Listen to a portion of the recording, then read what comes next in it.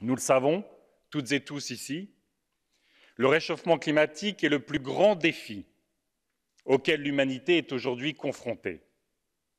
Mégafeux, inondations, sécheresses, canicules, partout sur la planète, partout en Europe, nous sommes percutés dans nos conditions mêmes d'existence. Mais lutter pour le climat n'est pas simplement un impératif de survie. Ce peut être, si l'Europe le décide, une extraordinaire opportunité pour redonner du sens à notre économie, pour innover, pour créer des emplois de qualité, pour aménager durablement nos territoires, reconstruire une société juste, solidaire, bienveillante, démocratique. C'est la voie que nous, écologistes, nous avons choisie.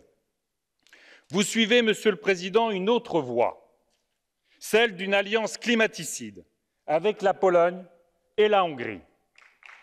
Vous promouvez le gaz pour sauver un nucléaire condamné à la faillite.